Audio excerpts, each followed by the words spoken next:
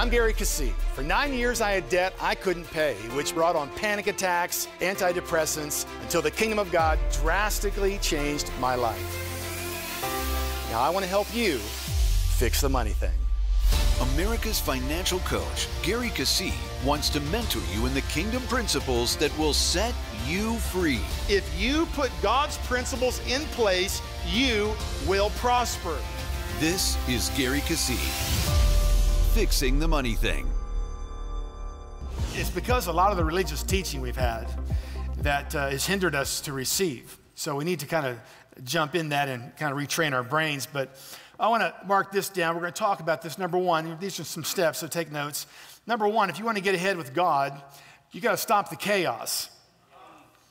You know, the Bible says that God's voice is that still, quiet voice. You know, Jesus had to get away to a what? Quiet place. But when things are chaotic and things are in chaos, you know, it's sometimes hard to hear and I was living a life of chaos, and you might be as well. So, number one, we got to stop the chaos, and you need to understand how that works. About three weeks ago, I had a, a dream in the night about a young lady that sings on our platform. That uh, in the dream, she had cancer. And I didn't know that, but in the dream, she had cancer. And in the dream, I laid my hands on her, and God showed me how to deal with that. And I thought, well, should I call her? You know, because God, I knew it. I knew what to do. I knew what to do. But should I call her? Should I? And I really felt in my spirit, don't call her. Now she goes to over our Powell campus, so I didn't see her very often. And uh, so that was three weeks ago. And so this Saturday night, I didn't know she was here, but I was on the front row and we were in worship. The anointing of God was strong. And all of a sudden, I had this urgency in my spirit that I was to pray for people to pray against cancer. So I came up front and I said, Hey, anyone have cancer, been diagnosed with cancer? I'd like you to come up front. And uh, here comes this young lady. I didn't know she's even here. She comes around, here she comes up front. And so I, I knew exactly what to do because I'd already seen it. God showed me exactly what to do. So I want to help you understand because here's what he said to do. He said, You go up and lay your hands on her and you say these words. I'm just, these are the exact words he said to say to her. He said, Get out, get out. No, you don't. Get out of here. Get out. That's what he said. You got to stop the chaos.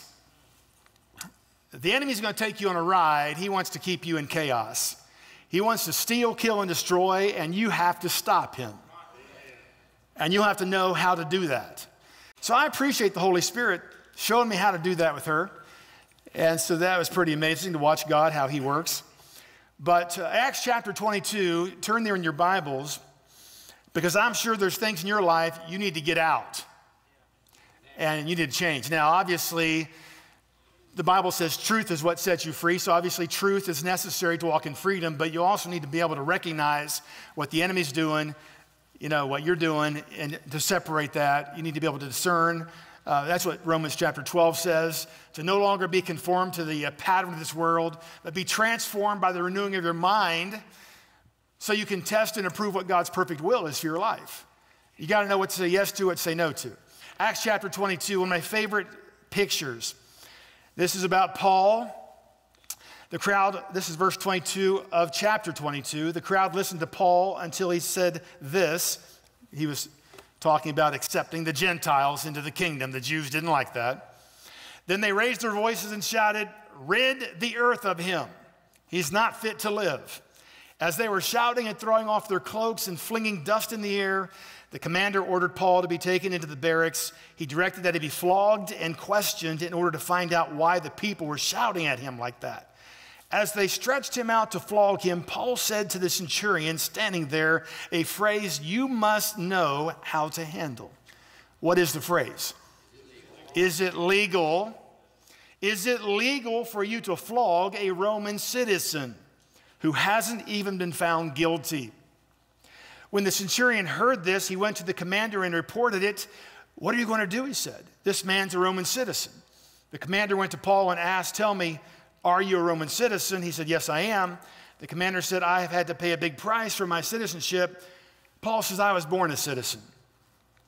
Those who are about to question Paul, what? What does it say? They withdrew how fast? Immediately, the commander himself was alarmed when he realized that he had put Paul, a Roman citizen, in chains. Now, this is a perfect example of how you need to handle the enemy, but you must know if it's legal. So you must know what's legal. But once you know what's legal, you need to take a stand against him and tell him to back off. And the Bible says he runs in terror. The Bible says, submit to God, resist the devil, he'll flee from you. Flee is the Greek word meaning terror. He runs in terror. This commander was nervous. He illegally was going to flog and chain Paul, even though he had not been tried and found guilty in a court of law. Now, this is how, this, this is how the enemy operates. He finds lack of knowledge, tries to convince you he has a legal right, shows you no way out, brings up your past, brings up your whatever it is. He will try to condemn you every turn. And unless you know where you stand in Christ, you're going to take a trip you don't want to pay for. Take a trip you don't want to pay for.